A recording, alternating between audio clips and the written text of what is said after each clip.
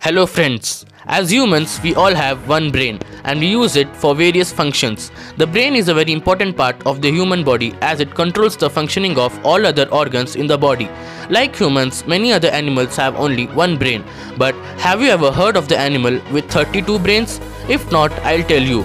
The leech has 32 brains. The reason behind this is a leech's internal structure is segregated into 32 separate segments and each of these segments has its own brain.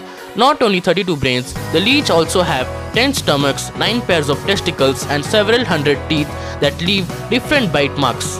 In spite of having 32 brains, the leech's only job is to suck people's blood. I hope you learned a new fact from this video. For more videos like this, subscribe to my channel and hit the bell icon. See you in the next video. Thank you.